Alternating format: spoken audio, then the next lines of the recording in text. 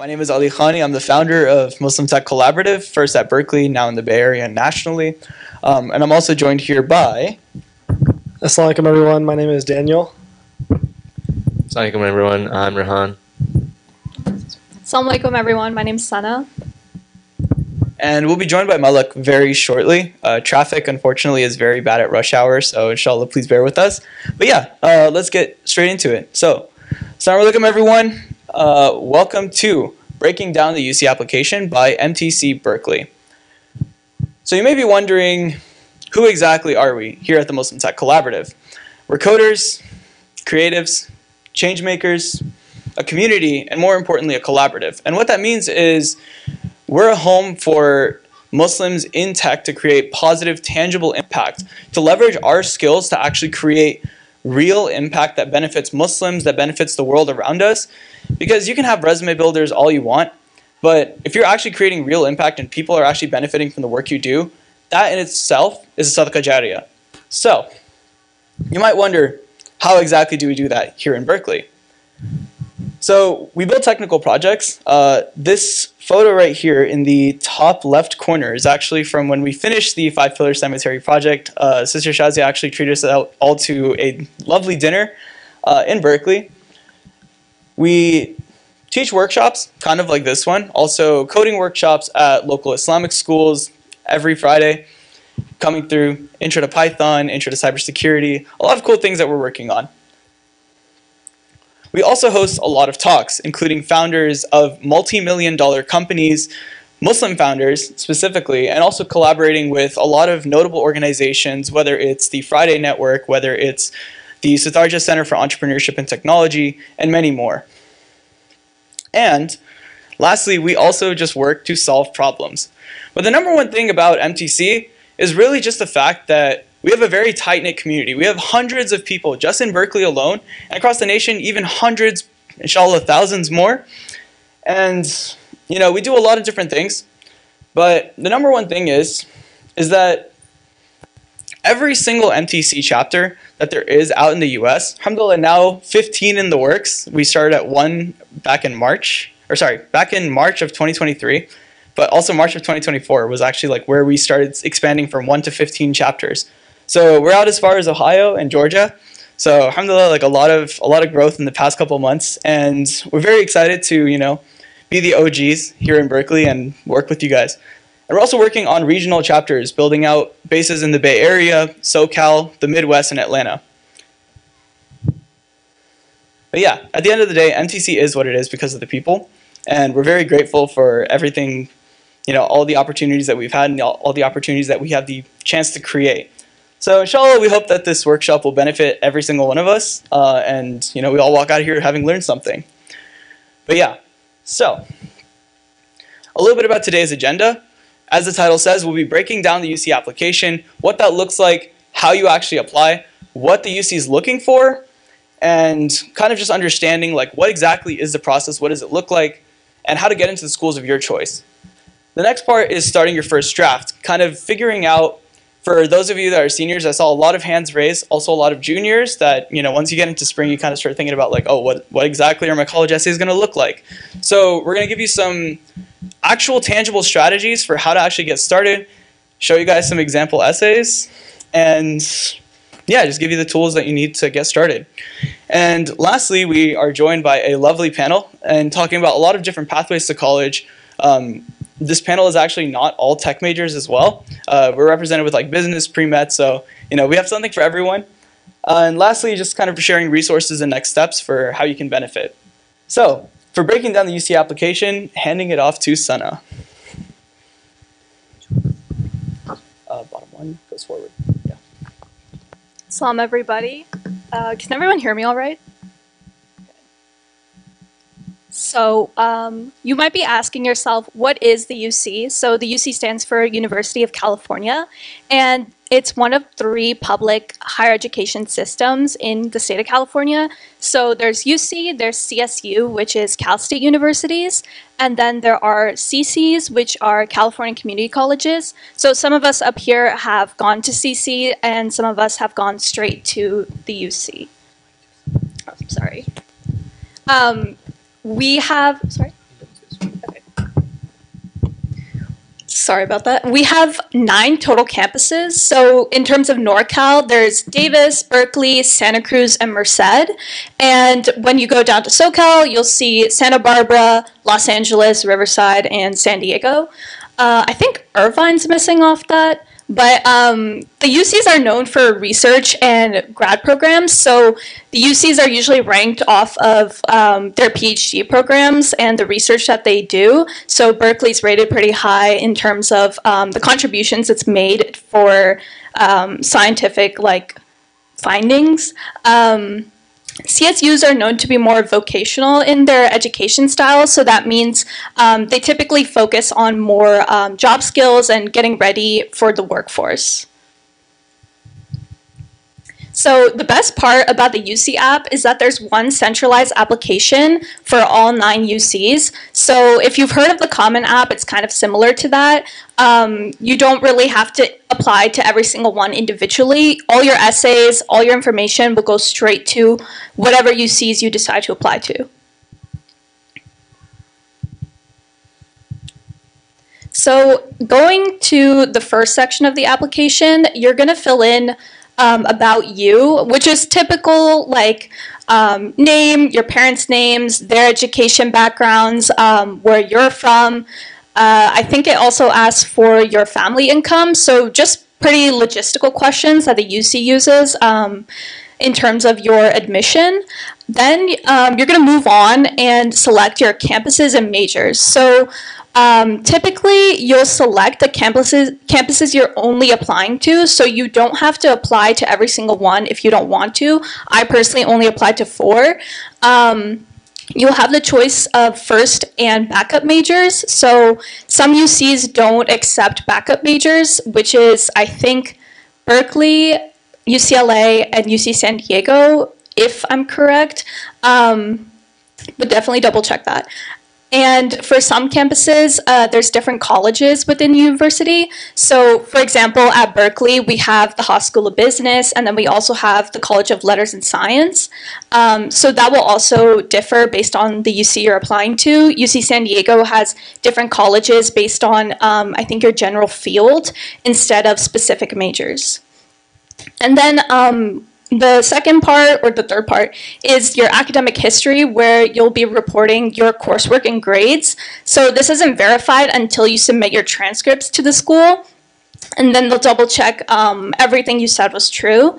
And um, this includes both high school and community college uh, grades. So everything you took in high school plus community college if you're a freshman applicant. And I think for transfer applicants, they only check your um, community college classes and grades.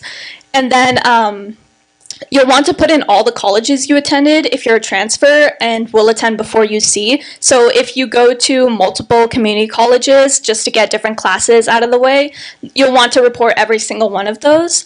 And um, refer to your unofficial transcripts when you do this because you don't want to report some incorrect information because sometimes they'll think you got an A in one class and you actually got a B and then they might rescind your offer if it's incorrect. That's up to them, but um, you just want to be careful when it comes to that. So moving on, we have test scores. So if you're a freshman applicant, this matters for you. Um, you have to report past and future AP, IB, English proficient, English proficiency, which is TOEFL and international exams. So this isn't relevant if you're a transfer applicant, but um, if you are a freshman applicant, so you're in high school right now, this, to, to all those seniors out here, this is going to be really important for you. Um, I think some schools are no longer requiring um, test scores, so definitely check with your counselor on that. Um, scholarships and programs, I think there's an application, or sorry, a section in the application where you can um, select any scholarships you want to apply to, um, programs that might apply to you, and um, can help give you more benefits when you end up going to a UC. And the final section is activities and awards.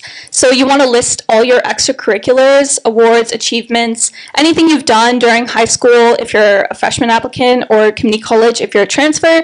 Um, that will help show and demonstrate your leadership skills and everything you've done and want to con- continue doing after you um, start at the UC. So we want to emphasize that it's not just quantity, it's also quality. So you don't want to put all of your activities filled out, even though you were just a general member in a club. You want to demonstrate um, impactful leadership skills.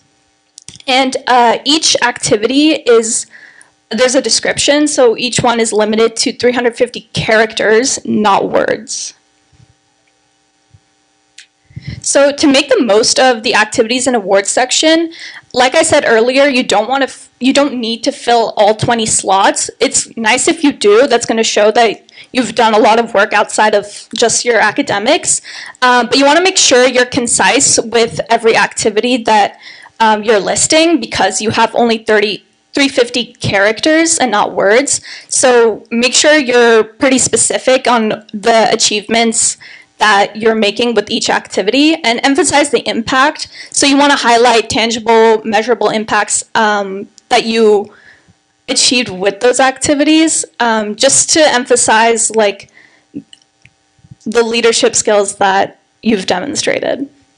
And then also include responsibilities, how you exhibited leadership skills, like I said, and um, quantify the time commitment. I think this one's really important. So you can say like, yeah, I volunteered at the mosque for like four months, but four months doesn't really mean anything because we don't know like if you went every day or if you went every week or you went once a month. You want to be pretty precise in um, like how many hours you volunteered.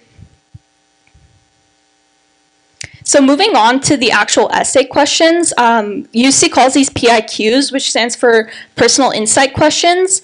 And um, you have eight options total, and you want to pick four to answer. And each one is limited to two, only 350 words. And you want to answer these to show the UCs who you are as a person. You don't want to just be your grades and your activities and your awards and like, you want to seem more holistic. You want to seem like a real person. So starting off with the first prompt, um, we have describe an example of your leadership experience in which you have positively influenced others, helped resolve disputes, or contributed to group efforts over time. Um, with this, you could probably go off of one of your activity experiences and find a specific instance that you want to talk about and share a story. So, second one, every person has a creative side and it can be expressed in many ways problem solving, original and innovative thinking, and artistically, to name a few. Describe how you express your creative side. So, if you aren't like a CS major, there's options that, for example, if you're into arts or humanities, you can talk more about your personal experiences, not just the achievements. Oh, I was in the CS club and we did this. So, there's other options too. And the third question, what would you say is your greatest talent or skill? How have you developed and demonstrated that talent over time? Moving on to the fourth, describe how you have taken advantage of a significant educational opportunity or worked to overcome an educational barrier you have faced. So this one's really good if maybe you failed a class or you had a hard time in one class and so, for example, I know someone who took Calc 1 and got a C, and then the next semester he took Calc 2 and got an A. So, if you want to talk about something like that, how you worked really hard to overcome an academic challenge or a personal challenge or something in one of your activity experiences, this is a really good one to answer. And the fifth question, describe the most significant challenge you have faced and the steps you have taken to overcome this challenge. How has this challenge affected your academic achievement? And the sixth question, think about an academic subject that inspires you. Describe how you have furthered this interest inside and or outside of the classroom. And this is the sixth question for transfers. So instead of the previous question, if you're a transfer, this is the question you'll have instead. And be sure to note that this question is actually required for all transfers. And it is asking, please describe how you have prepared for your intended major, including your readiness to succeed in your upper division courses once you enroll in the university. So you want to answer this one really well. And what a counselor advised me is answer it more of as if you were in an interview. Um, they're asking you as an adult, you're not really a teenager anymore in high school. Um, they want to see how you have prepared in college and outside of um, your academics to succeed at the UC. And the seventh question What have you done to make your school or community a better place? And finally, the eighth question Beyond what has already been shared in your application, what do you believe makes you a good, sorry, makes you a strong candidate for admissions to the University of California? So I'll pass it off to Ali and he can talk a little bit more on how to get started. All right, so, oh, I do need the clicker. All right, so the moment that you might have been waiting for, but how do you actually get started on your first draft? So, let's go a little bit into it. The hardest part of writing is getting started. You're going to be thinking about what do I want to talk about? It's sure, maybe you have like a lot of different parts of yourself that you want to talk about, but all of a sudden when you have to put pen to paper, then it's like, yo, what do I talk about? And so, I wanted to share a couple quotes about, you know, what people have said uh, in the years that I've been advising like college app essays. First question is, what should I even write about? Another question was, I don't even know what's interesting about me. And this is uh, a question that I myself have also said. And then lastly, for some other people, there's just way too much lore to cover. And the hardest part about writing, about building anything, is how do you get started? So, I think that's like one of the biggest challenges that most people face when writing college app essays. For those of you that are about to apply, uh, fear not, you are not too late. It is okay. It's still August, so it's still August, and a lot of the UC applications are due November 30th, if I remember correctly. So you have a little bit of time. You have, I would say, this is technically a head start, and the fact that you're here is probably a really good sign that you are already thinking about writing your essays. So, how exactly do we get started? Step one is meet yourself. So when you're meeting yourself, you want to keep it as brief and as succinct as possible. You want to think about the most interesting things about yourself and how do I tell that to someone else. So there are four PIQs that you have to answer, four essays, which means that there's four parts of yourself that you have to tell someone. So if I'm going up to anyone on this panel, I want to tell Daniel one story, I want to tell Raihan one story, I want to tell Malik another story, I want to tell Sana one story. And if all of them talk to each other, they should be very distinct stories. And they should be so interesting that if they're talking to each other about me, it's like, yo, are we talking about the same guy? So you want to make sure that these are four different parts of you that make a whole. So you think about what are four stories that you need to tell. Not that you want to tell, but that you need to tell. What are four stories that are so essential to who you are that if someone is reading about you, that's the stuff you want them to know about you. Oh, sorry, that goes backwards. So again, don't think of them as essay topics because as soon as you start thinking about the nitty gritty, it gets very overwhelming. Do not think about four essay topics to write about. Think about four parts of you that make up who you are. These are four parts that make you whole. So, the second step is now that you know what to talk about, make an outline. Number one part of writing. So, a rough idea of how you might do that is the 20 40 40 approach. And this is something that my mentors taught me and I'd like to share with you guys.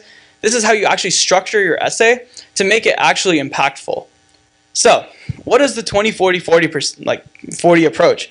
So there's 20% of the intro and hook. This is the part that's pure storytelling, right? I was like 5 years old and I picked up a lightsaber and all of a sudden I am like Star Wars is part of my personality. True story. Then you want to talk about what you did and how you did it. So, sure, now I've got your attention. What do I talk about now? So maybe now this translates into talking about how my passion for Star Wars all of a sudden led me into getting into astronomy and maybe looking into like tinkering around with like Arduino kits to like work on robotics. Maybe I was looking at like, oh, how would I be able to like recreate C3PO's voice and like use it to spew brain rot? So that could be something that led to my passion and what I did, how I did it. And lastly, the, 40, the last 40% is the part that most people tend to miss, and this is the reason that most essays tend to fall apart, is what did you learn from it? And this is the hardest part of any essay, is most people will focus too much on the storytelling, or most people will focus too much on like talking about what they did and how they did and how cool it is, but they will not talk about what you learned. Because at the end of the day, what you learned is actually what makes you who you are. What are the insights? What are the personal insights that they can get out of these questions from you? So, let's actually look into what that might look like once you actually have that outline. So, I like to call this word vomit in the sense of you're not thinking too hard about it, it's not that deep, no fluff, no formatting, no making it cutesy and pretty and flowery. I do this a lot too. Just write. Literally just start writing. Pen to paper, it doesn't matter like if it's like pure stream of consciousness. Don't worry about like, oh, does this like actually make like coherent sense? Like is this even an actual sentence? Just write. Simple as that. Don't worry about word count. There's 350 words maximum for each one of these PIQs. Don't worry about the word count. Don't worry if it's too long, too short. You just want to get that outline and just write something bad because your final perfect draft will be a very different draft than the first one you write, but you need to start somewhere. So, one last thing. Uh, this is for the modern times. Do not GPT it. I know it's very tempting. I use GPT a lot. I know, okay, low key show of hands. Who's used GPT for an essay? No snitches. Okay, who's used GPT in general? All right, there we go. There's the show of hands I was looking for. So, do not GPT it. It helps you a lot with brainstorming, but this is a story about you, not story about stuff from the internet. So just purely write it on your own. You can use it for formatting and editing, but just don't GPT it to start off with. So, it does not matter how incoherent it sounds. You just want to start writing. All right. Quick question for the audience. Just start. One more time. Just start. Simple. So, what might that look like once you've started writing and you're able to edit it afterwards? So, again, in short, uh, just a quick outline of talking about how to make outlines. Choose the story you want to tell. Ma sorry, choose the story you want to tell. Make an outline for it, and just start with writing this up. Um, one usual trick that works is like write the body first, then the intro, then the conclusion, because it's like it's easy to talk about what you did, then figure out how to make it interesting, and then like talk about what you actually learned once you have like a little story to tell. So, be concise once you start editing. All right, we've already covered most of this stuff, but yeah. Yeah, this is the actual fun stuff. So, Example essays. Um, I will also add a disclaimer for the folks that wrote these essays that some details may have been embellished for college app purposes. But getting into the very first one. Yes. Okay, so this question was, what have you done to make your school or community a better place? Uh, we understand this is not readable, so thankfully we have these a little bit more zoomed in, but I'll just read it off just for convenience's sake. So this is the intro to Hook. This is the first 20% of your essay. Drawers were filled with moldy pizza crusts and crumpled up paper plates, crayon scribbles across the walls, closets shoveled full with broken vacuum cleaners, and a ping pong table with no legs. No legs.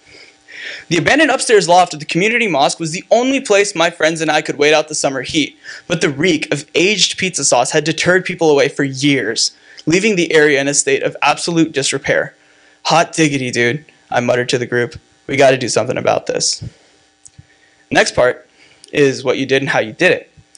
The seven of us returned the next day, each member of my brigade armed with garbage bags and Clorox wipes. Neglected rooms soon became bustling chambers filled with roaring vacuums and the stinging scent of disinfectant. Joyful hollering echoed from room to room as my friends and I refurbished an old PC, cleaned the rugs, and tossed out ancient trash crammed into every corner. Our efforts for reviving and renewing the loft of the mosque did not go unnoticed. The mosque's imam left crates of peaches for us downstairs daily with a handwritten note that read for the seven dwarves.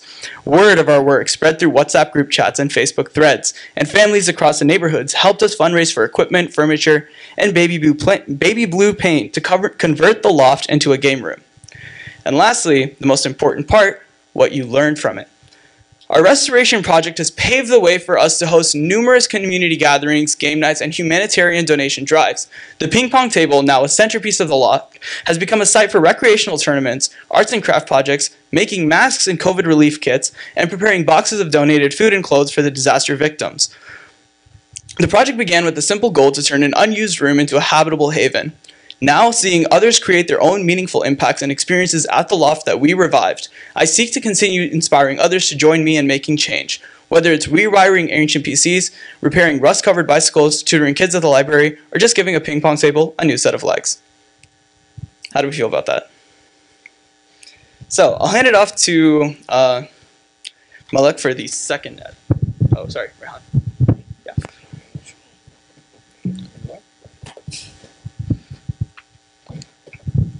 Assalamualaikum everyone. Yeah. bottom one forward. All right, cool. So this is my example essay. I want to add, emphasize disclaimer, some details may have been embellished for college app purposes. So specifically, this was mine. I mine was what have you done to make the community a better place? So I'll just read this off. Upon starting my community at my upon starting community college, I joined the MSA to meet new people. At our first meeting, we only had six people in the club, and after being involved in the club for the whole year, I was elected president in the spring of 2022. And I wanted, I immediately jumped to the task to, during the summer. I devised an outreach strategy to expand the MSA to educate our members and inclusive values of Islam. I began by merging the De Anza and Foothill Community College MSAs to strengthen our community and forge wider connections. Uh, I also said, also since I have no prior, also since I had no prior experience running an MSA, I took initiative to learn about different leadership skills and tactics by reaching out to former and current presidents of MSAs of other colleges. They advised me on how to grow organizations by marketing the club, fostering community-minded events, and striking a balance between religious and a social organization. With this advice, I designed and posted flyers around campus to spread more awareness about MSA to students. I also ensured our social media pages were more active with weekly, weekly posts, which resulted in 40% more followers. I intentionally chose to host events at various locations, parks, mosques, malls, to provide more exposure to the club's social and religious elements. For example, we hosted a game night where potential and current members for, form new connections. As a result, 45 students joined the MSA. Consequently, the prayer rooms within the college became more active, with several members praying together. Everyone is looking for a community, identity, and camaraderie on a college campus, and we succeeded in doing this with the MSA. We also provided the opportunity to share information about our club and our faith to educate the wider com college community about the values of Islam. Thus, my commitment to creating an environment where Muslim students feel at home and included on campus allowed me to build a community that will last beyond my time at community college. I look forward to building to nurture safe environments that sustain diversity and inclusion at a UC campus. One of the biggest things that I did when it was reaching out, to, when I was writing this essay, I reached out to a few people and they told me when you're doing this too, also emphasize that you say we when you're doing leadership. You know, you do this as a team, you work together emphasize stuff that you did too, but also emphasize you did as a team. Another thing that I also did too was uh, uh, quantify. I think Sana talked about it earlier. Quantify what you've done too. Uh, I said in one of the last paragraphs, which resulted in 40% more followers. UCs like to quantify; they're able to visualize it more. Another one was 45. I said 45 students joined the MSA, and in the first paragraph I said six. That shows a bit of growth. If you're able to do that, I think they're able to visualize growth. They they like to see that. So yeah, a lot of this was just leadership. You show that I showed that I wanted to go out there, lead a group, and I showed the growth with that. And I think this was, I think, one of the essays that really helped me uh, get into Berkeley. I'd say. So yeah.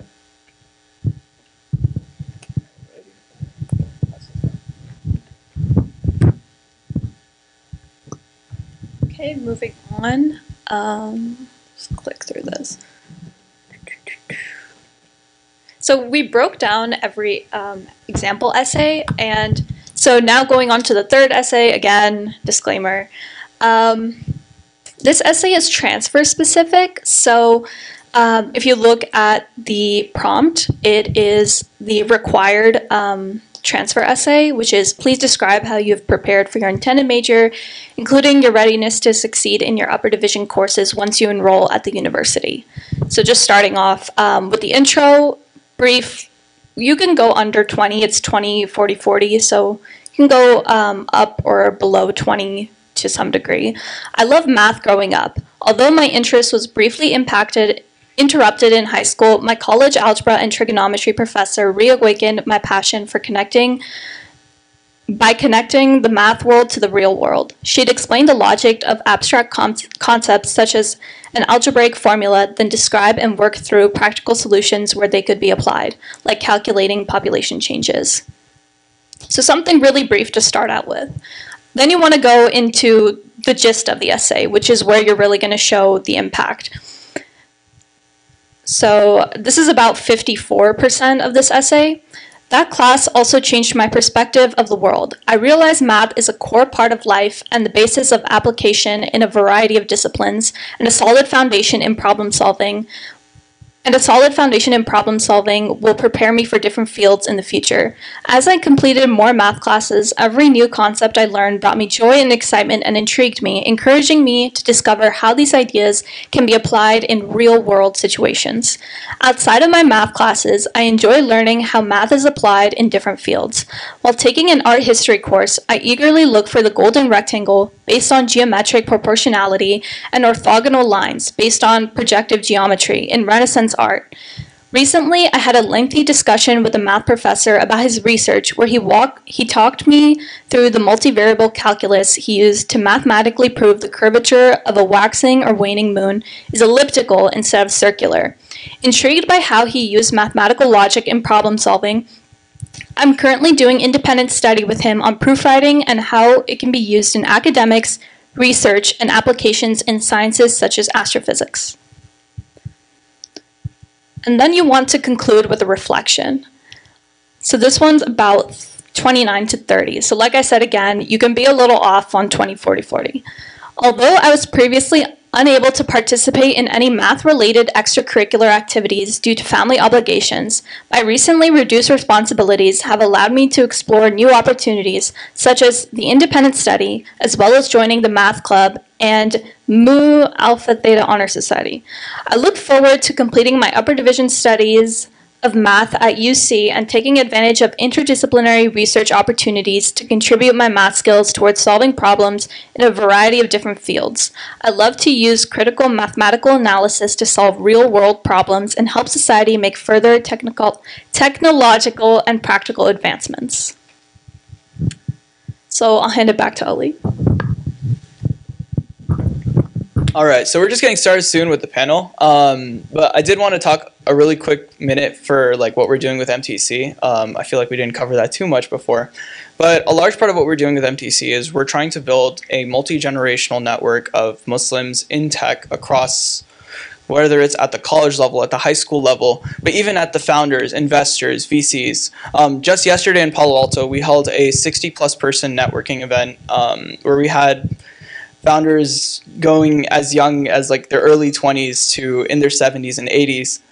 And the number one goal of what we're doing with MTC is for very far too long, we have been very, very far behind in terms of helping one another, especially when it comes into the industry. And as you might know, in the current world today, um, and especially like something that's become very apparent um, following October 7th with Palestine and the US, is Muslims are not in power.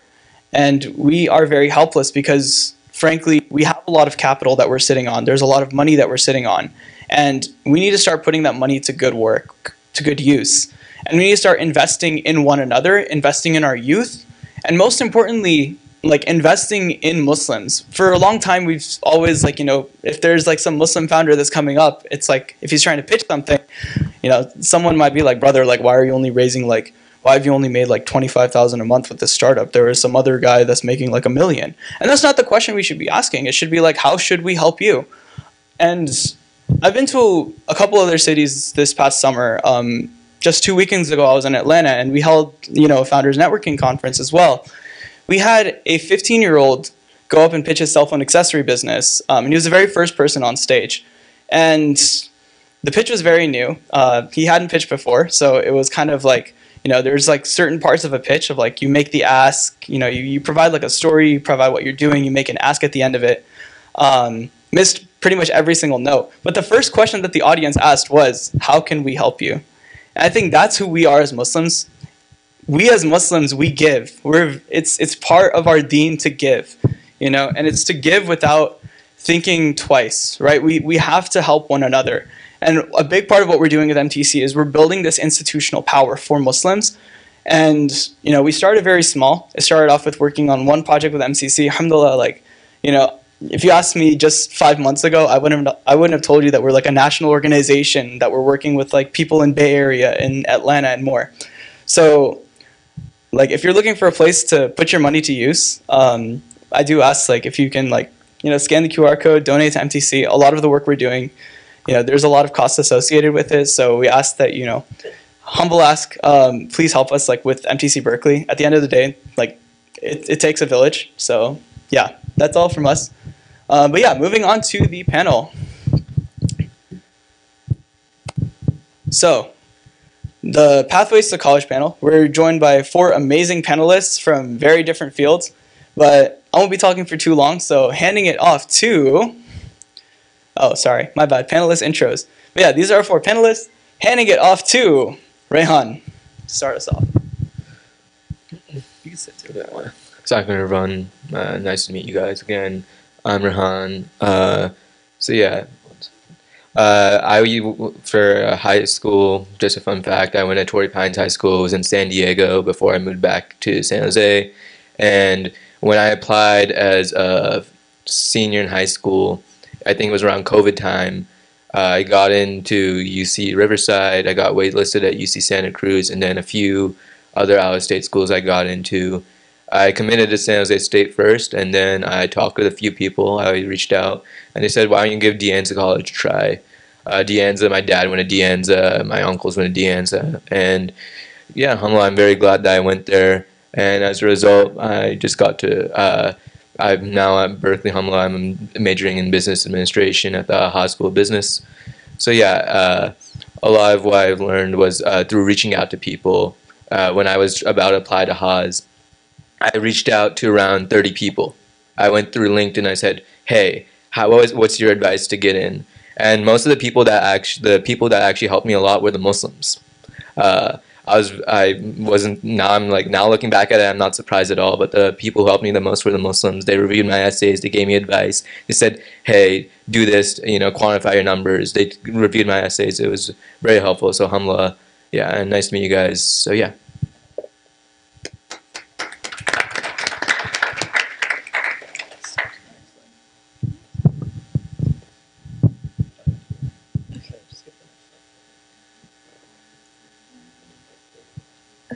Assalamualaikum. My name is Malik. Um, I oh thank you. Uh, I graduated from Casa Grande High School back in 2020, and just graduated this last semester uh, from Berkeley in microbial biology. Um, yeah, and a little bit about me is that I grew up in North Bay and partially in Palestine. I'm the only bio major of my family, so the rest of my brothers did Mechie, and I chose to do the less paying job. Um, I'm an avid podcast listener and then I'm also applying for schools right now, but graduate school. Yeah.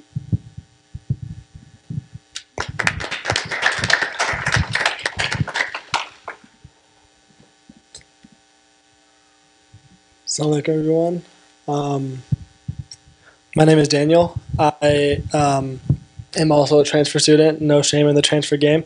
So um, yeah, I'm trying to remember what I put up here. Oh yeah, so uh, my path to Berkeley, I think, is very non-conventional. Uh, my mother is like very into education, so um, I went to a lot of different kinds of schools. I did one semester at public high school. Um, then I spent the majority of my high school years in a boarding school in Tennessee. Um, I've been to private schools, charter schools, um, and I eventually ended up at DVC, which is, I'm sure some people in this room are familiar. Um, UC DVC, forever represent. And so at DVC, I so one thing, one piece of advice that I think I'm gonna give to that I want you guys to take home is that like a lot of the students who are applying to these like top tier UCs are gonna be very mashallah accomplished. They're gonna have like 4.3 GPAs. They're gonna have like you know three businesses already acquired and stuff like that. It's ridiculous.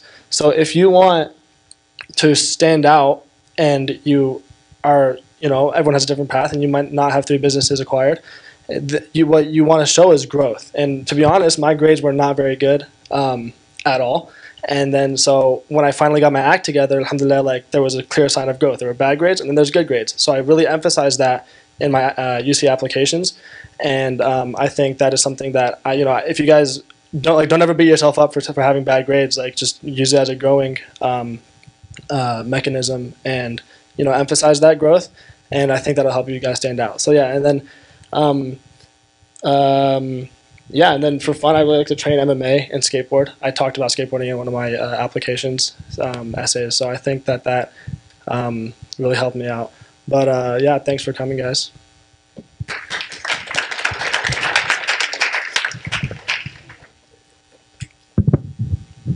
Salam everyone. Oops, sorry.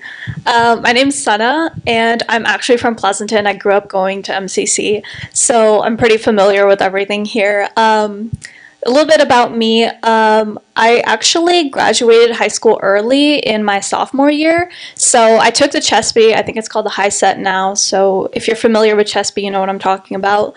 Um, I actually went to DVC as well, and I transferred in 2021. And now I started at Berkeley, and um, I'm going into my senior year. So I have a background in computer science, but I am also interested in what is called ISF at Berkeley. It's interdisciplinary studies. So my focus is so I'm both tech and humanities, social sciences. So it's basically public policy. Um, it, it can be whatever you want, but I'm focusing in public policy, Islamophobia, and um, sociology there's sorry, there's a little more. um, just a little bit more. I was originally an applied math major, so at UC Berkeley, um, when I got in, it was a little easier to switch from math to CS. So I kind of took that route and then changed my mind later. And um, I love matcha. I had one earlier today. Again, I took the CHSP, and I have two cats.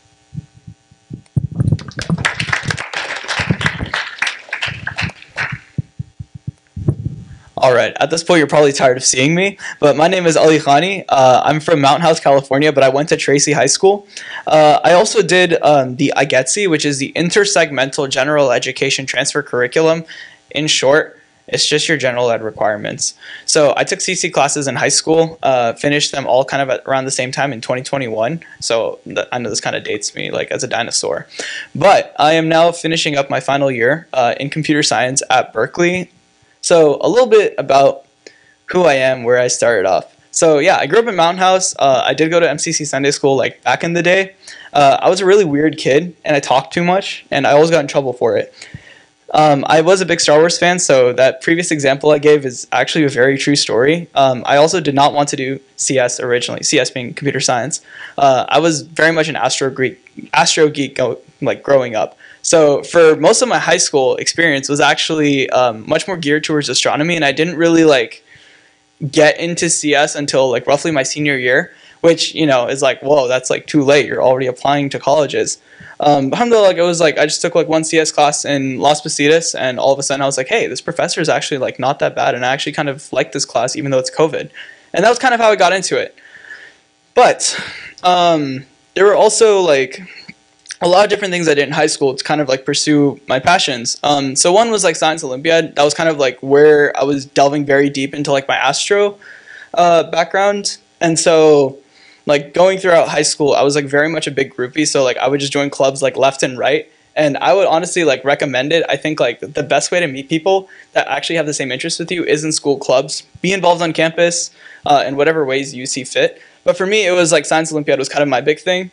Uh, freshman year, the club was pretty much dead. All the board was seniors, so like they were all graduating. They didn't really care because they were applying to college already. Um, but then pretty much sophomore year, I ended up joining. Um, I think it's called board. Yeah. So I ended up joining like as an officer for Science Olympiad. I was treasurer. Um, but even as treasurer, I was kind of like very try hard, and I was like, oh, like we're doing the finances, but like let's also like organize team meetings. And so like I took a lot of matters into my own hands, and I was like, oh, let's organize like team meeting. Let's also like organize like like let me hit up like a bunch of the teachers and ask them to stay an hour after school so we can like work like lab experiments in their classrooms. Um, and I think like a lot of it was just being very proactive. I ended up becoming president of Science Olympiad uh, in my junior year of college, or sorry, not college, sorry, high school. Time flies. But in junior year of high school, the day before uh, our very first meeting, our Science Olympiad advisor and coach passed away. And all of a sudden, then the question became like, oh, how are we going to win states this, or how are we going to like win regionals, go to states, to like how are we going to keep this club afloat? And so I think that was a really big turning point for me because then it was the question of like, do I give up or do I keep going? Um, and there was like it was quite an uphill battle from there. I was like fighting with teachers like left and right that were like, oh, like science Olympiad, like we don't have the funding, we don't like it's too much like logistics, and like where are you gonna get this money from? And then basically I'm going to the principal, I'm like, yo, like the teacher said like we don't have money, but like, do we really not have money? And principal's like, we do, and I was like, we do. And so from there it was like, okay, let me like fight with the chair of the science department to get this club to continue existing and I actually ended up winning. And so, alhamdulillah, like from there, it was like we were. I was just pushing left and right. I was like, guys, like get in on this, like get to work. Why have you not done this? And alhamdulillah, like, it ended up working. We we won regionals for the first time in 17 years and went to states. And then COVID happened, so states got canceled. And so we were like, okay, what do we do now? And so from there, like, and as you can tell, like Science Olympiad was very much my personality in high school then we were like, okay, let's actually start training the team over the summer and make our own curriculum so everyone's like ready to hit the ground running in fall. So fall comes around, it's online, but we're like, yo, we're already ready to go. Like this is just second nature. And so that ended up being like a very big part. I was also involved in the MSA, so we worked a lot with the Christian club actually, um, since our numbers were very small and theirs were too. But together it was like interfaith, like that's the collab. Um, so we were organizing like like hurricane relief. Um, so at the time, this was like Hurricane Dorian. So we were organizing like a relief drive, like donations across campus. Um, and also like a big part of my high school was also like I was part of the tennis team for all four years. So I started off in doubles, ended up like playing in varsity singles, um, and it was just like just a great way to like talk to people. Most of us were nerds, so like it was kind of like oh like we're like friends off the court and on the court. And then yeah, community college classes and IGETC. And lastly, I think this is the one that is like a little lesser known fact about me until very recently. But yeah, in high school, I was also like very viral on this like random question and answer website called Quora. If you guys know about Reddit, Quora's like if you took Reddit and made it like really snobby. So that's what Quora was. So that actually ended up translating into a lot of interesting skills that I did want to share. So, a couple takeaways from my Quora journey. So when I was writing on Quora, this was around like freshman and sophomore year of high school. I just kind of accidentally stumbled into it. I was like, yo, here's the question. Let me write like a joke answer because like I was like writing under a pseudonym. So somehow like one thing led to another. I just kind of kept writing consistently, maybe like once a day, twice a day, um, maybe like once every two days. But I ended up garnering over six million views on Quora. I got a couple of my friends in on it. One of them also hit like a million on his own thing, and we kind of had this little like mini syndicate of friends that we were just like writing like really viral answers and going really viral. Uh, so that was cool. So I think one of the biggest takeaways from that though was like how to actually build an audience. And I think this is like relevant to college apps because at the end of the day, college apps are really just like how do you market yourself, right? How do you write to get people to like care about you, right? If I'm telling my story, you better listen because this is the most interesting story that you will hear. So being able to build an audience, being able to experiment with like different writing styles, figuring out like, okay, if I write something this way, who am I like getting their attention? If I'm trying to write to like, because if you're trying to write to like people your age, you're probably just gonna write like all lowercase like this.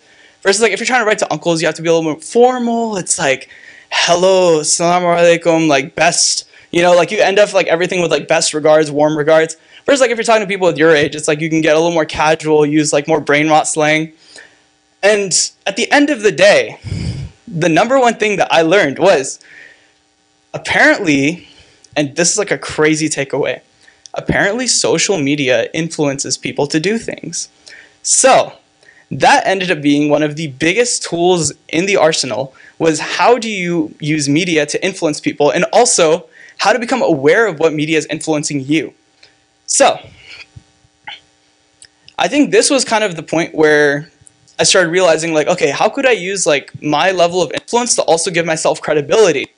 And I think this is one thing that for me is like still kind of a work in progress, but I didn't want to share this was, you know, a lot of people like make it to these really high points in life. You know, you're looking for people that are like two to three steps ahead of you, and you're like, how did someone get there? I think the number one thing is being able to ask for help, and this is like something I struggle with. Um, I'm like an, I'm the oldest sibling and also the oldest cousin on both sides of my family, so for me, it's like for me to talk to people older than me is like usually a little harder than talking to people younger than me. But here's kind of a quick breakdown for what's kind of gotten me through so far. So one, first and foremost, you want to identify the people that you actually want to reach out to. These are people that are maybe like two to three steps ahead, right? And it's in whatever specific domain you're looking for. The next thing is, if you're going to ask for their time, be very direct about what you're asking for, right? If I want to ask like Malik for like help on, you know, how do I write my essay? I'm not going to be like, hey, I thought your profile was really cool, and I was like, your accomplishments are really cool. No, it's just going to be like, hey, I really like that you were doing X, Y, Z. You're working in something that I'm really interested in. Uh, do you think we could hop on like 15 minutes for a call and like I can just ask you about like writing my essay? Very direct. And this kind of led to the third point, which was like open yourself up to being helped, right? You there's a level of like sharing a little bit of vulnerability, like, okay, I'm looking for like this kind of help because I'm at this point and I want your help. And I think this is the one thing where a lot of people fall off too, is help is not a one-off request, right? You want to keep updating your mentors. It could be something as simple as like, hey, Malik, I actually applied to like this like random position, um, and I actually didn't get it, but like I think I actually found this other position, and I think I might be able to get that. So do you think you could take a look at it? Or if you get something, it's like, oh, hey, like small win, you know, this like really helped. Thank you so much.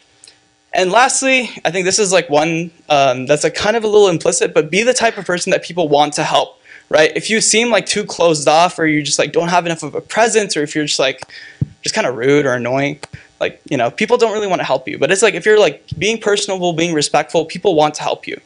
So, yeah. I don't remember if there's another slide after this. Yeah, four years of high school, four year, four learnings. But one, every failure should be considered a point of growth. Um, the stuff I mentioned before were the wins. There were also a lot of losses. I tried to start an astronomy club. Two people showed up, and one of them was a teacher who was advising it. The other one was my friend that asked to come. That was pretty bad. Other failures, um, like I got bad grades in classes too. I was doing CC classes, not all of them turned out too great. But the number one thing is if you treat a failure like, man, it's Jover. Did you grow? Right? But if it's like, okay, that happened, What's the next move? I failed a CC class. Can I take that much on in the next semester? Maybe not.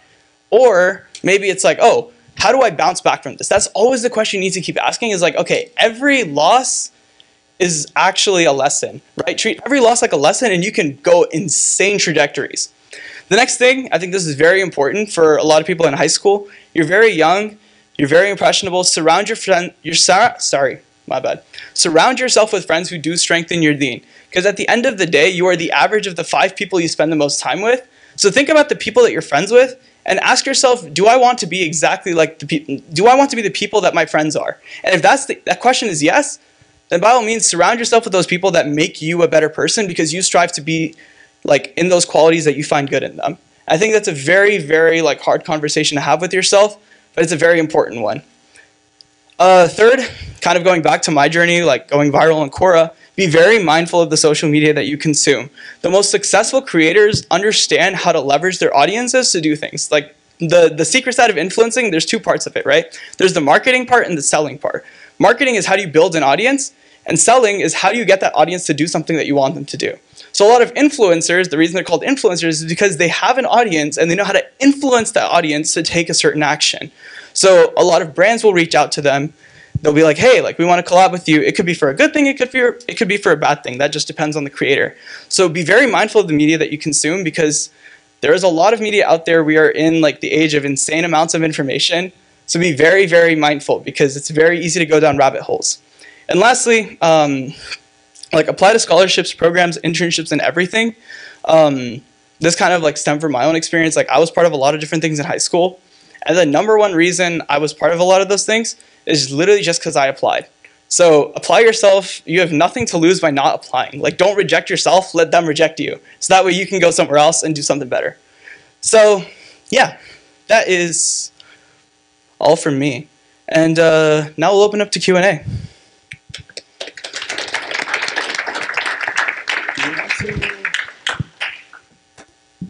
Yeah, do we want to...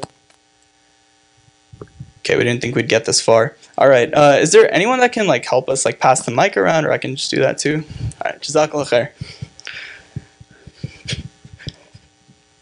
All right, so any questions? Don't be shy. Raise your hand. Apply yourself. Um, okay, so did any of you say you were in uh, the health sciences? So, what UC did you go to, and kind of what led you to go into that?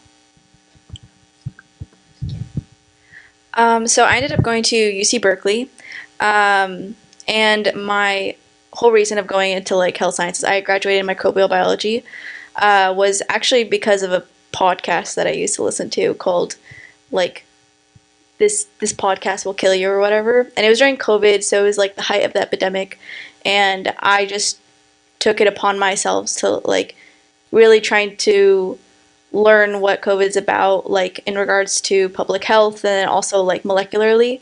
Um, so that's really what like guided my interest. I just knew. I just knew that I didn't want to do mechanical engineering, which is what my brothers did. Uh, I wanted to work to help people. I was initially pre med too. I should probably include that, but now I'm not. Um, I wanted to work with people and either help them systemically. So that's what I aim to do right now by going to grad school and then inshallah going into biotech, or helping them one on one. So in some sort of like healthcare field, like nursing. Yeah.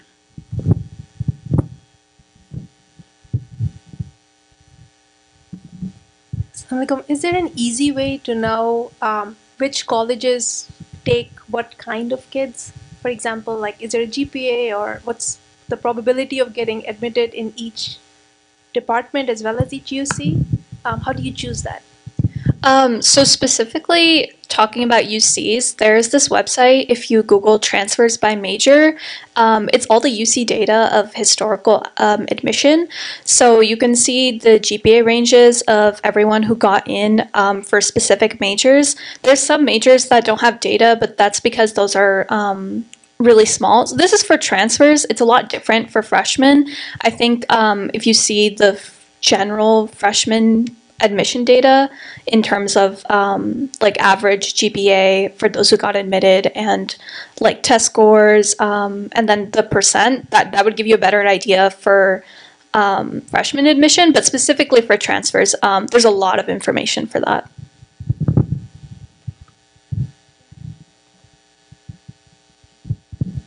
Assalamualaikum.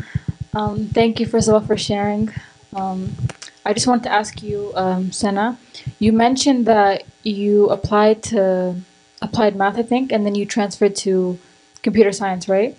So I just wanted to ask, like, was that like a strategic, um, like, app, like way of app applying? Because I know that CS is really competitive, or or was it like really hard later to transfer to CS when you're when you got in, or how'd you go about that? So um, it's changed a lot now. Um, the major of computer science is now in a different college at UC Berkeley. So it's direct admit from now on, and I got in before that policy happened. Um, so it wasn't strategic. I was actually really interested in math, and um, I just realized after I got to Berkeley, it wasn't something I wanted to do necessarily. Um, I think once I started taking the upper divs, which are um, junior, senior level classes, um, it wasn't what I expected it to be, and I feel like I should have looked into them before I committed to Berkeley. And that's something I would suggest is um, look at the major specifically um, at each school before you commit to one. And um, it was hard to transfer into the CS major because everyone who applies to CS or at that time needed to meet a GPA requirement, which is pretty tough to me. And um, I did end up meeting it, but I didn't stay in the major. So I just have that like background in computer science. It's something that I think is really valuable. But um, specifically now going forward, um, in terms of CS admission to UC Berkeley, it's definitely a lot more competitive. I think Ali has met um, some of the new admits who are starting this fall who got in for freshman admission. And um, maybe he can talk a little bit more about some of the experiences they had from what they've told him. Um, but I can't. I can only talk about my experience, but it doesn't really apply anymore. But I hope that answers your question a little bit. Thank you.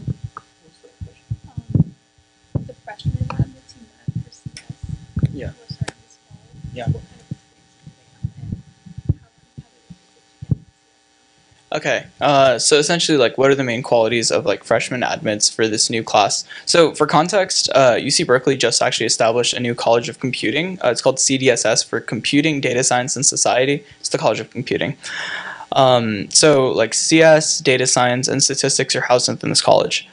So, um, it's kind of a new scene for kind of everyone here at Berkeley because we're like, oh, like I came in from a process that no longer exists, which was like um, the CS major within the College of Letters and Sciences, which is like the general college, and now it's in a focus college. So for a lot of things I've seen with direct admin, I think this is like stuff that kind of like a lot of college students do. So if you're trying to get a little bit of a leg up, um, I think just work on building things. Um, and so think about like problems that you have in your life. It could be as simple as like, yo, I like don't like my to-do list app, so let me just build my own that specifically fits my own needs. Um, and I think like you'll realize that there's other people that have this problem, and then it's like, oh, maybe I can sell this to you, and now you're also making money off of like code that you wrote. Uh, welcome to the entire field of CS. So there's like stuff you can build. Um, I think hackathons are a good way to just force yourself to do it around like surrounded by people that are also trying to build things. Um, usually, a lot of them are like between 24 to 48 hours. There's like usually a bunch of them that you can find online. Just have to like Google it and you can find it. Um, I think the number one thing with like hackathons, especially if you're trying to break into tech, is it forces you to like start thinking about like what are the business ideas I can come up with? What are like specific themes? Like if it's like a sustainability thing, um, or like climate, it's like oh maybe we can build a tool to like help firefighters analyze like wildfire data and see like where the next most likely wildfire spot is um, just based on like past data. There's a lot of different things you can do um, but i think like the number one thing is like you just have to take like it's kind of like writing right? You just need to start like doing it and then figure out like how to iterate and like refine the process as you go along. So i think if you're trying to break into tech just start building things like you'll just come across everything else like in that process. There's a lot you learn just by doing things yourself Actually, if you don't mind, I want to touch on that a little bit. Yeah. So, he, advice: just just do it. Like literally, like, and especially with the applications, they want to see people who have done unique things. Um, I'm really proud of my little brother right now. He just started his own business, and he's going to go into the UC application. So that's going to set him apart. Um, and there's a couple of resources that I want to share with you guys, especially the the youngsters, that I think are very very good. So please everyone note this down. This has been absolute hack. Extern.com. I don't know if you guys have heard of it too, but it's basically externships, not internships. They're externships. Some of them are paid. Some of them are specifically for community college students. And essentially, what they are is a project-based um, externship uh, that when you work with a real company. So I'm actually doing one with Beats by Dre right now. You can throw it on your LinkedIn, and super. It's a it's a hack. It's a hack, honestly. So just like just go on extern, go on Forge.com is another one. Like just literally just do it. Just just put your mind and do it. Like you can sit and like think, hey, I want to be well planned about this. I want to be well thought out. You can waste time. Um, it is good to be well thought out, but just write write that piece of code, wr- write that blog, write that article, whatever. Just do it. Just put your thoughts on paper. I totally 100% want to agree with Ali on that. It's the and then the UCs are really gonna like that initi- uh, that initiative. So sorry to jump in there. I also wanted to add one thing. As a high schooler if you're applying to a certain major for instance if you're interested in um, bio cs or anything one thing i've seen people do one of my friends he was doing software applying uh, for cs as a high schooler he decided to take a class at a community college for cs he got an introduction and he did well. He got an a. Uh, if you do that you show that it shows like okay cool. This guy knows what he's doing. He's done this class because some of those classes are transferable to the UC. So you're able to see that you get an introduction, and then they say, okay, cool, this guy has an understanding of it too. We don't need to worry so much. So yeah, that's a to find the classes that transfer directly. Uh, even as a high schooler, you can go on assist.org, and it'll show the community colleges, and you can see what classes transfer where. I think that's uh, that's one hack that you guys can use as well. Yeah, Assist.org. Assist.org.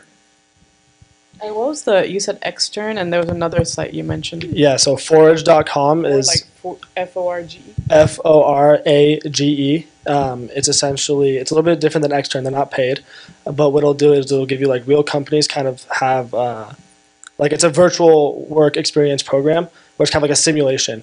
I would be less confident putting that on your LinkedIn, but it'll definitely give you uh, a real look into what it's like to work at a real company um, of any different size. You can filter by like finance projects, uh, projects, even some uh, health sciences projects. So definitely check those out. Extern, E X T E R N um, dot com, and then yeah, just like network and, and be proactive. Brothers?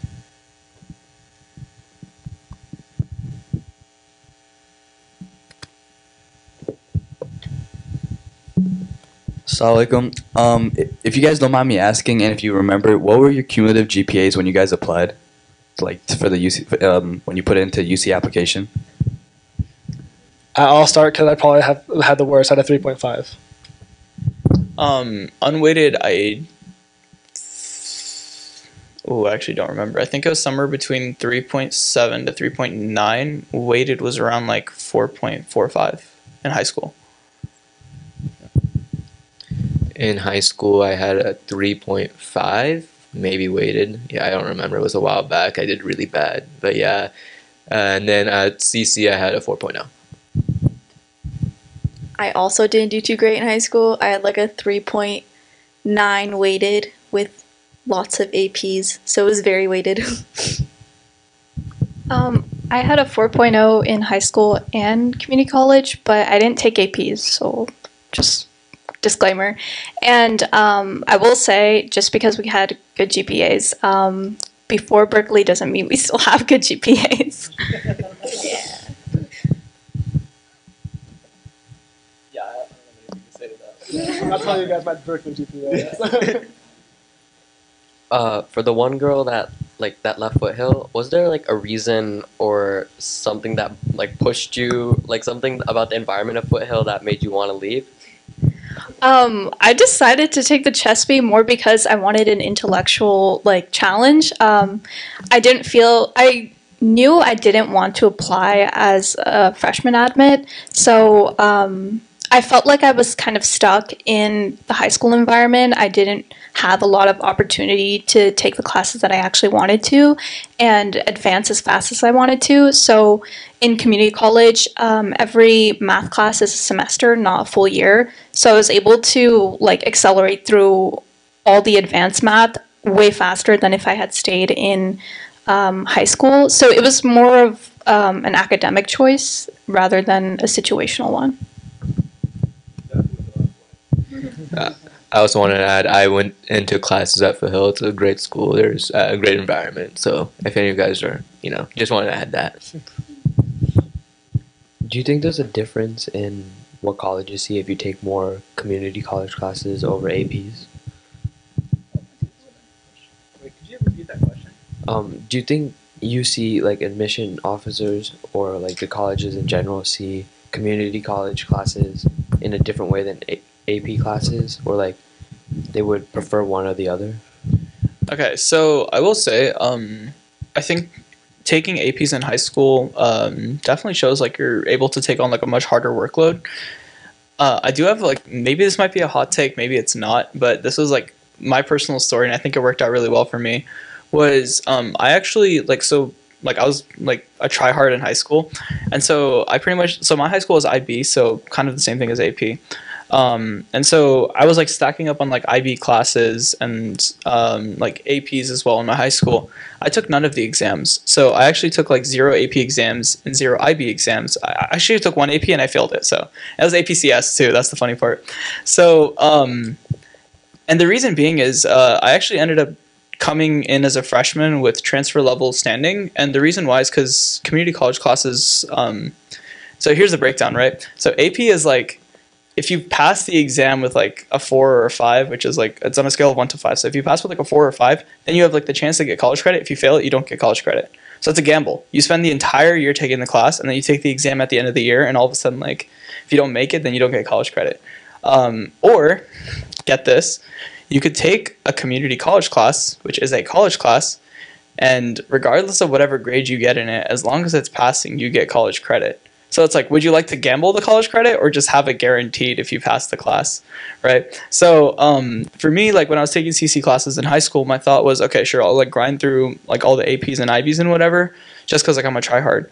But the real financial benefit you get is like if you take CC classes, like you're just getting college credit. Like you don't have to do it in like university because university is expensive. Um, even like something like the UCs, like I assume everyone here is in state or like shall like soon to be in state.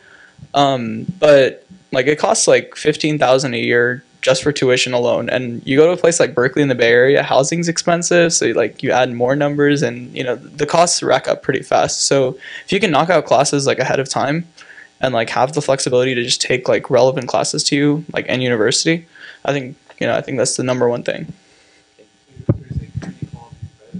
Hundred percent, yeah. Because bear in mind, like the AP is owned by College Board, which is not a government entity; it's a company that is like nonprofit, but they make a lot of money off of like kids gambling their college credit, um, and like schools are going to promote it because like it makes them look good. Um, so just think about where the money flows, and you'll realize that CC is actually like the hidden gem out of all of it. I also want to add when my friends were taking classes in high school, they would go see these people that were putting in hours and hours and hours studying for these exams. And then they would just take the CC class and they're like, oh my god, that was so much easier. You know, you can go talk to people, they'll say, hey, take this teacher. That's one thing I learned so much by reaching out to the Muslim students. It'll be like, you know, this class, it's pretty easy. You should go to class, they'll help you. The teachers really care about you in community college too. They'll help you get an A. And you're able to do that during while you're in high school, I feel too. So yeah, you'll know the workload, they'll give you backgrounds, rate my professor, it's a really big hack. So yeah,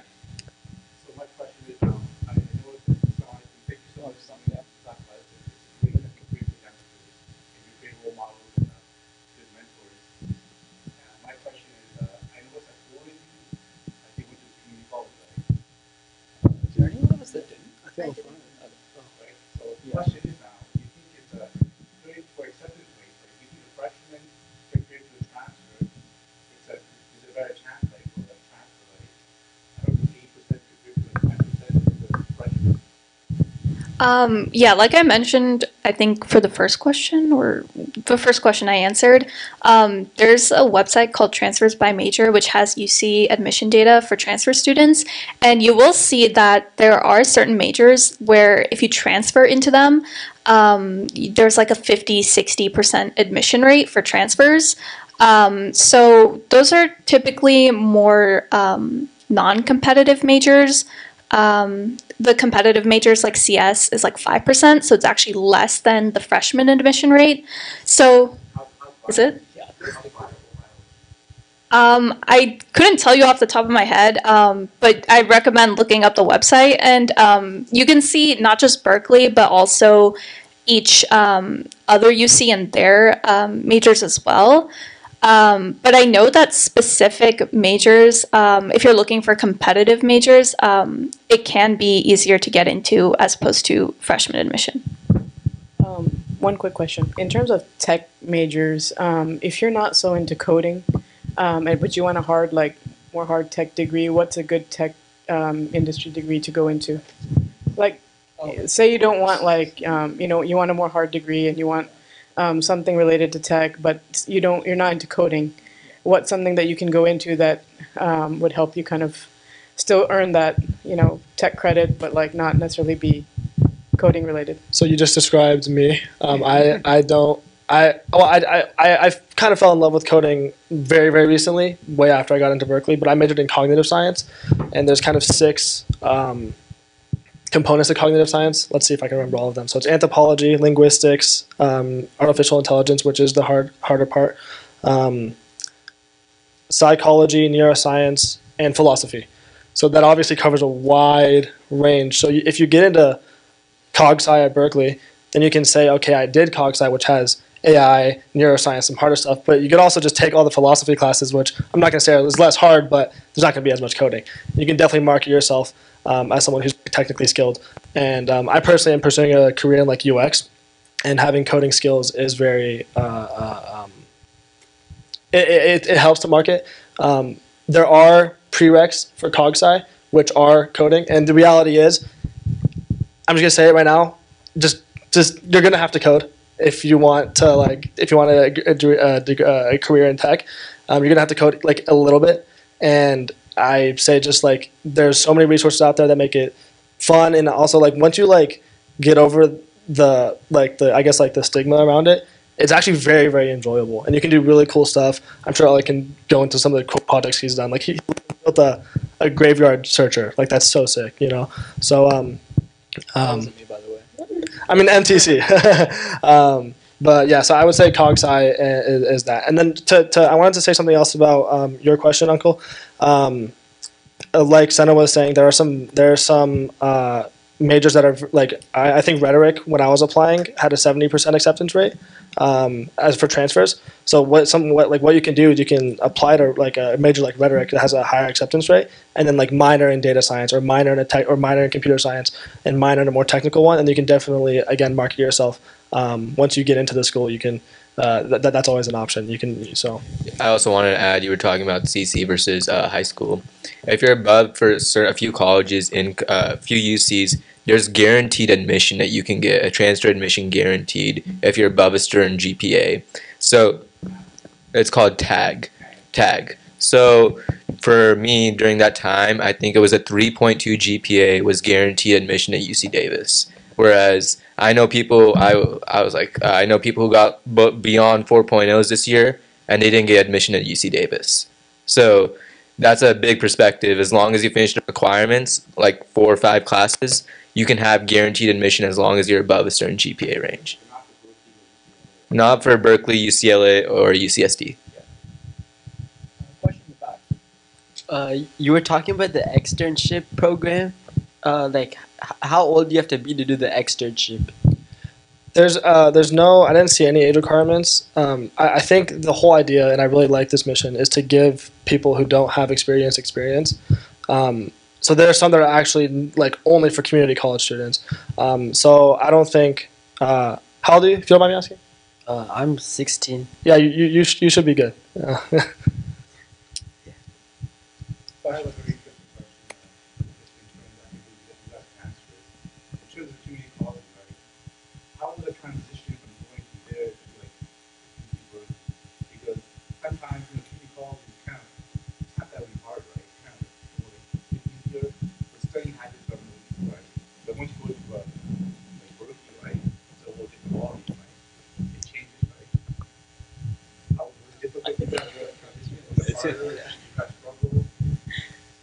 Um, yeah, so it's definitely a lot different.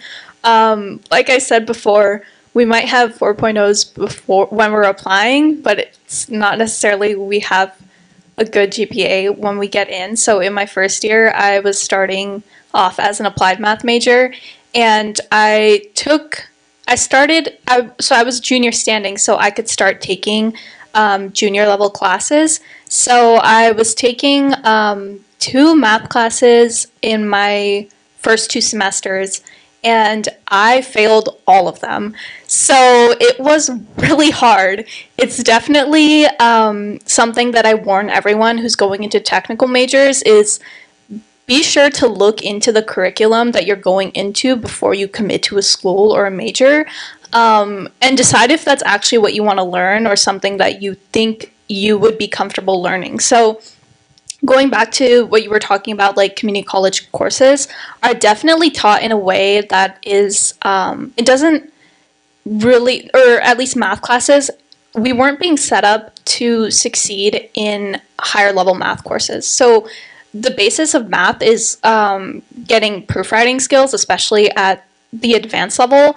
And when you're taking, you know, multivariable calc, linear algebra, differential equations, you're still learning, um, well, maybe not linear algebra, but you're still learning like formulas and problem solving skills as opposed to how can I take everything I like I know and apply it to different scenarios, different questions, and generalize these concepts. Um, and that's something that's really core at the advanced level of math is being able to generalize things and you get hit with a specific question and using your like your toolkit of proofs or theorems and being able to solve those problems. So I would say it is a lot different, um, especially at Berkeley. So I can't really speak for the other UCs, but um, I would say Berkeley, UCLA, maybe UCSD are some of the more advanced ones. That's where you're going to see that curriculum difference for sure.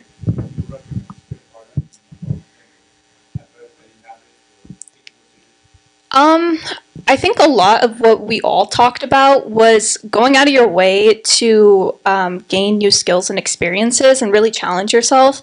I think um, putting yourself in positions where you're constantly learning and being challenged with um, problems or situations that you've never experienced, gaining those skills, especially in the field that you're going to study, is most important. Um, so I think like for the example of math is going out of your way and doing personal projects. Same with CS, like Ali was talking about um, hackathons, like going out of your way um, to get those experiences that people in like UC Berkeley, so um, freshmen admits are going to get like right off the bat at UC Berkeley.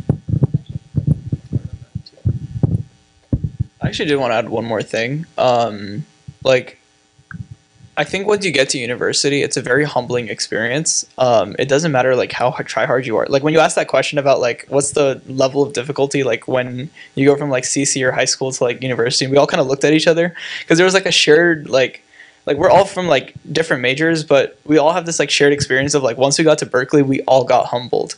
Um, there's just like once you get to university, it's not just Berkeley. Like it could be Davis or like literally any other university. The number one shared experience is if you're going to a hard major. It's it's known as a hard major for a reason. Um, even going into Berkeley, like I had like some coding experience going in. Um, the very intro CS class. So this was like CS 61A. That's what it's called. Um, first midterm, the average was a 60% on the exam. I got a 40%. Um, and so for me, like taking like one of the fattest L's I've taken on an exam, like, and that's my first one too. And I just like got the results and like that just ruined my day. I was like slumped on the couch. My roommate like walks in. He's like, "Yo, like you good?" And I'm like, "Dude, I don't deserve to be here, man." And there's like, if you go through like my snap memories, like there's a lot of snaps of me just like in a hoodie, just like I give up, guys. Like I'm so done with this, and that's just the reality. Um, like when you, when you like kind of um, think you're at the top, and then you realize there's something bigger. Like there's like a bigger fish. There's like literally always a bigger fish. And coming into like university, you're like surrounded by people that are like smarter than you, and I think that's a really good thing too, because if you're the smartest person in the room, then like there's not really much in that room for you to gain. Um, and so I think one piece of advice I like to give people is always try to be the dumbest person in the room because then you have the most to learn.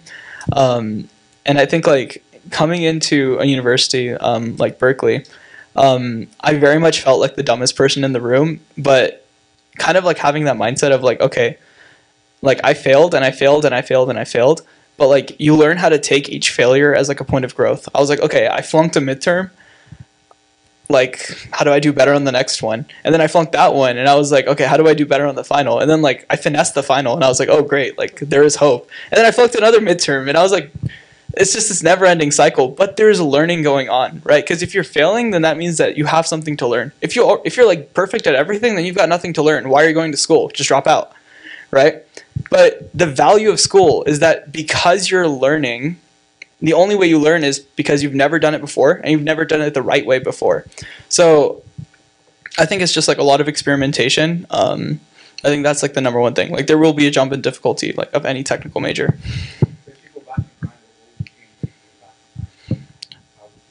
Do a little better on the midterm.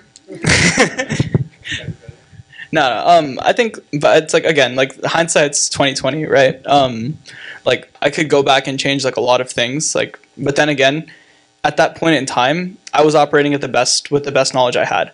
Right, I was like, okay, I'll grind like a bunch of past midterms, and I'll just do like five of them, and I think I should be good to go. Um, but then there's like strategy involved in that that I didn't learn until like years later. Um, and like there's a lot of things I don't know now. Like I'm barely pushing my 20s, and like I have so much to learn too. So. Um, do you think it's better to go straight to a UC out of high school, or is it better to go to CC and then UC? I I would say like apply, um, the, you know, and then if you don't get in, go to CC. That's for, like the short answer. Um, I don't know if people agree with that. I would say it depends on like if you have a major already in mind that you're already in love with and you've already explored, then apply for UCs and go straight into it.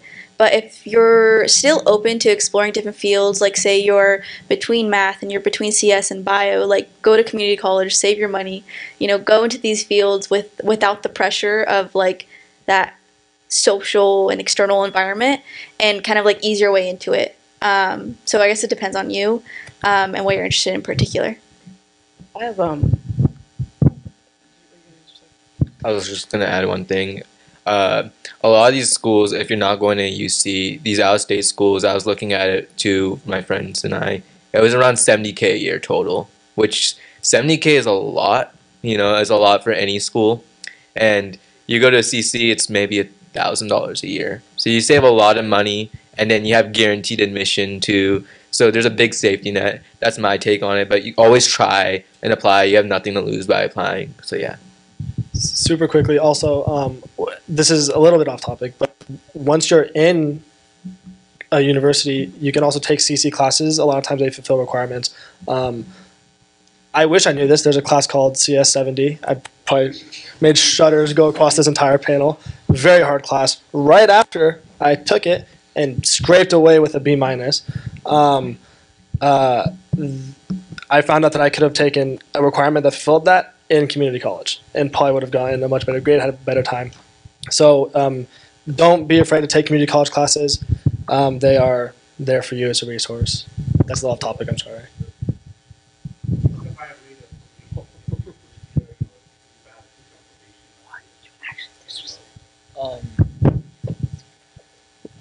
Oh yeah. So um, on the topic of probation, I will say I'm speaking from. Oh sure, yeah. All right. Can we see some hands? Um, oh, okay, perfect. Yeah. Uh, so, who was uh, the person that was taking a, a pre med major? Yeah. So I just wanted to ask you personally. Um, I saw that you took MCB, right? Or I was microbial biology, so it's an Oh. adjacent biology, yeah. Yeah. So I'm also taking uh, microbial, or I'm thinking MCB. Mhm. But I guess my question was, this is you don't have to answer this, but do you regret taking like a major that you can't really escape out of? Like you have to Uh, go through the doctor route. No, because I learned through my field. Okay, so first gen, I thought the only decision was being a doctor if I was bio. Um, turns out that's not the only option. So right now I'm working as a research associate and then building up my resume so I can apply back for grad school. But this is all based on my own terms. I don't regret taking a pre med major necessarily. Um, it does it does uh, shorten the list of you know possible jobs that you can apply for besides going to grad school or getting um, going to medical school. But I'd say if you're passionate in it and you know you, you're okay with taking a little bit of a financial cut, then go for it, and you'll you'll find the like the jobs that are meant for you if you're not interested in medical school um, throughout college. And there there are actually a lot. I think it's like I think we think what we the only option we have is going to medical school for bio, but that's not the reality of it. Um, and yeah, I can definitely help out as well if you're interested in anything like that. Thank you. Um, I wanted to qu- quick just follow up on that. Is um, when you said you can help out, is there any opportunities for these students to get mentors or help from um, either your org or like other places near Berkeley, or how can they get connected to get help, things like that, if anybody needs support?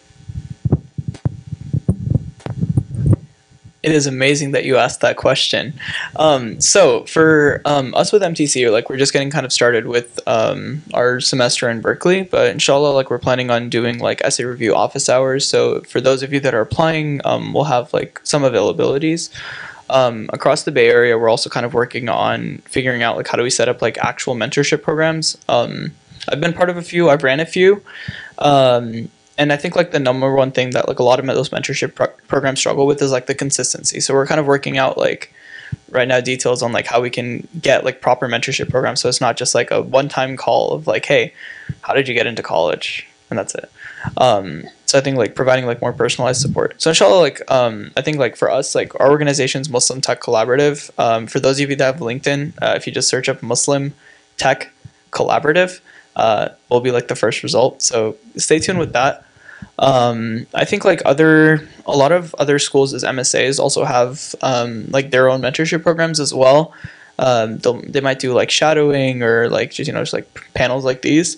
So I would look out for those. Um, yeah, I think it's like the number one thing is like just like the power of just googling a bunch of things is also very helpful for me. Like I found a lot of opportunities by literally just like googling like mentorship program like San Joaquin Valley or something like that.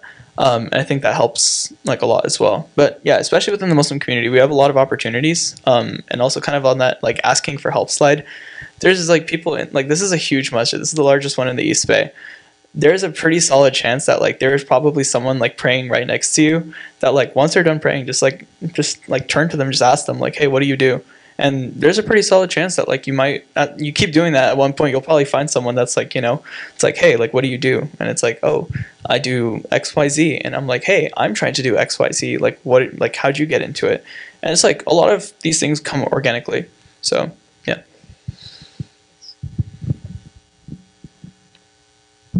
Assalamu alaikum. I'm so I'm a senior. I'm applying right now, and I know I'm not sure what the UC process is on this, but I know a lot of my senior friends like what they're doing is they want to go into a certain major, like a capstone major at Berkeley, let's say. Um, but because it's like a capstone major and it's really hard to get into, they just find another major in the same college, apply to that, and then transfer in. I just wanted to get like your opinion. Is that something like worthwhile doing, or That's what I did. it, it, it's uh, I think so. Um, it again, a lot of the majors they kind of nerfed that um, because uh, CDSS they nerfed it, um, so you can't do statistics, data science, or CS anymore. Um, but yeah, it, it worked when I was applying. I would look into it more specifically with each major because they've also made it Berkeley's becoming a bit more strict with it. Like you can't change into some majors anymore. So you have to really look into that. Reach as I said before, reach out to people who are in Berkeley, who are in this colleges who have gone through this process. Specifically Muslim people. We love to help each other. We have our whole panel right here. You have our names. My link my name's right up there. You can search me up LinkedIn, Instagram. I'll always be happy to help. So just reach out and so we can always push you to the right person as well. Um, I just wanted to say we're kind of short on time, so we're going to take two more questions. I think we did a lot of questions from the brother side, so if any sisters have any last questions, um, we can answer that.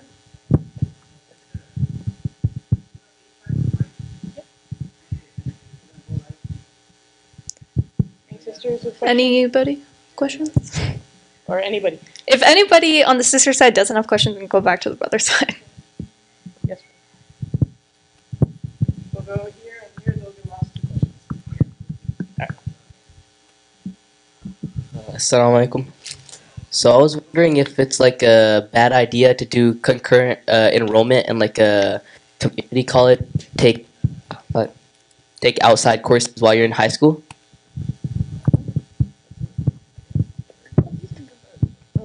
I did that. I don't think it's a bad idea at all, honestly. I think so long as you don't overload yourself and you're you know what you're capable of, I think just go ahead and do it.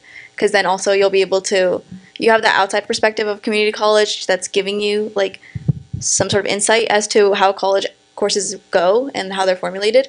Um, and then you also have high school, so that's your that's your base. not too much to add to that. Um, I think yeah, like that was something I did as well. Um, like I say, just try a couple of quite like courses out. Um, if anything, just start with like the English classes because those are like almost always transferable. Uh, like English one A or one B. LOSPO I think calls it like English four A and four B. There's it's different for every college, but um, I would just start with the introductory English classes, see how you like those, and uh, if you like take those and you decide like I don't want to do CC classes in high school, at least uh, now you have like some college credit that is transferable regardless. So thank you for this great presentation. I'm a parent here. Um, there's a lot of chatter about the value of college. You think it's worthwhile to apply to college? Ooh, this, this, this is a good question. Uh, the question is about the value of college. Is it worth to apply to college? Does anyone have any hot takes? I think it depends, honestly, on what you're interested in. Like, I feel like, I feel like if you're CS, this a lot of the skills. I mean, I'm not CS here, but I've heard that a lot of the skills that you pick up are actually in your job.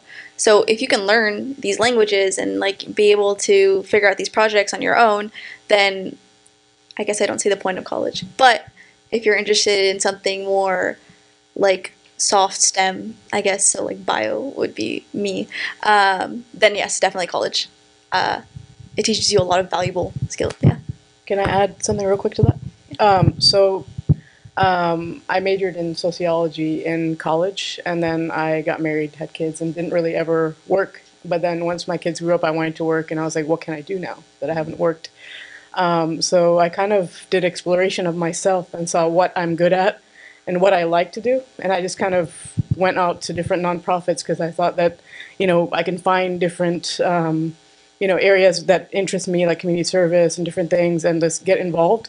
And through that, I found out that um, I'm really good at fundraising and development and helping nonprofits succeed. And that's what I got into. And like that's something that I did that was not related to my field, but work that I do now. And I'm like on multiple boards. And on I'm on the board of MCC here. Um, so you know, you just have to find where your passions lie, and sometimes that can help you get a job. I'm not telling anybody not to go to college, but there are avenues to get jobs without going to college. Yeah, so kind of going off of that, um, it really depends on if you know what you want to do in the future or not. So if you're dead set on being a lawyer, you have to go to college. Um, there's really no other option. Um, if you want to be an entrepreneur, there's a lot of um, wiggle room there. I know a lot of, um, I think maybe parents can relate to this. If maybe you didn't have a college degree, uh, and you immigrated to the US, um, there's still ways to be successful. And um, college isn't really everyone's path. Um, I think it's really deciding on what is best for you. And um, there was one more thing I wanted to add that I cannot remember.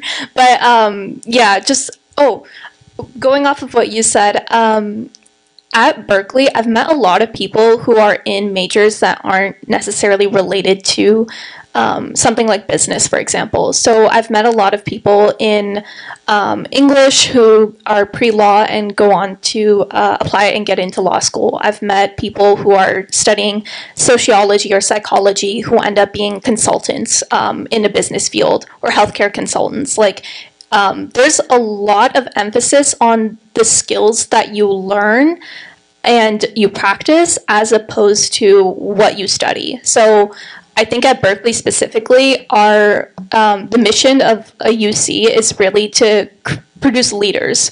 Um, the difference between a UC and a CSU is that um, Cal State's emphasis is really on producing good workers and people who are going to add value to the workforce, but UC's produce leaders, people who are going to be in charge of that workforce. So it's really just knowing yourself as a person and um, understanding what role you want to play in your future. Yeah. So I just want to add one thing to that. Uh, the value of the college degree itself, as very as a subjective, is going to change between each person. For me specifically, I'm a business major. A lot of the stuff that I learned, you can maybe learn that through YouTube videos, all that. But one thing I've learned in college is more of like independence, all that. Because I when I'm I'm lived at home for many years. I moved to college. I was like, yo, where do I get food? You know, I was relying on my mom. I was relying on my dad for money. You get a lot of independence. You go through hard. You learn to work hard. You know, uh, especially all of us at Berkeley. We when we came to Berkeley, we our work ethic has changed. Ber- uh, Berkeley, I think itself, it shapes hard workers more than anything. You you leave Berkeley with it. You we leave Berkeley with an insanely better work ethic than you came in. I feel like that's more, you know, a work ethic is insanely good work ethic, independence. That's very useful as a college life. A lot of stuff that you're going to do in college, you learn. You can maybe learn that later on or stuff. It depends on your major, of course. Bio, law, law changes, but a lot of it independence work ethic that makes you grow up become more mature and ready to you know go into actual adult life i'd say so i'd say it's very valuable Yeah, I, I, I agree with all that. Um, so I actually like go back and forth. Like, is college necessary? Is it not necessary? And I, I do have a lot of opinions, but I think something that has kind of channeled me into what I'm about to say now is the market is like it's so bad, and I would not be surprised if like it like you'll see on LinkedIn a job posting for like a UX design intern, like zero years of experience, right? And then it'll have 500 applications in three hours. And I'm not even exaggerating, those are the numbers. So there's no way that a recruiter is going to look through 500 applications, much less the thousands that come in the next coming days. And how they filter it is they have these ATS scanners that filter. And I'm, I'm not, don't take my word on it, but I would not be surprised if they filtered by do they have a degree or not? Are they studying or not? And um, I think another thing that's super beneficial about college is not just the skills and education. There's also the connections and the network, kind of like what Raihan was saying. It's it's there's so many people that I w- would not have met. Uh, I'm, I'm, I'm, I met my wife uh, from college, so um, there's so many people that I would not have met. So many uh, opportunities that I would not have um, gotten. Um, uh, I could uh, like at least two logos on my LinkedIn were directly from people that I met through college. So in a career like UX, it's very possible. to have UX boot camps, um, and you know you can just spend six months learning and you can go get a job. But with the state of the market right now, um, and with all the other benefits, I would say like definitely college is very very good and very very. Uh, I don't know if I would say necessary, but like I'm leaning more to that side just because of the people you meet, the people you get to be around, and then everyone has a similar mindset. Um, and um, yeah, so. All right, I have also a lot of opinions on this. So, um, actually, funny enough, I was at a panel uh, earlier this summer. Um, that was literally like the title of the panel was "Should You Drop Out of College?" Um, and so, for context, I like I'm finishing up my final year in college, so I think I did not drop out. Um, my freshman year roommate actually did uh, right after freshman year. So, um, and his story was a little. All right, I can share my opinions later on this.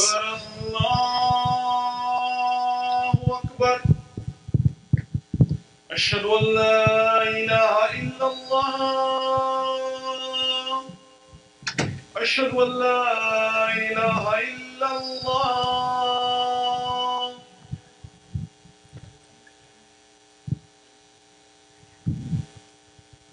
أشهد أن محمد رسول الله. أشهد أن محمد رسول الله. حي على الصلاة حي على الصلاة حي على الفلاح. حي على الفلاح الله أكبر الله أكبر لا إله إلا الله So just to close that off, um, just a quick TLDR of um, my answer.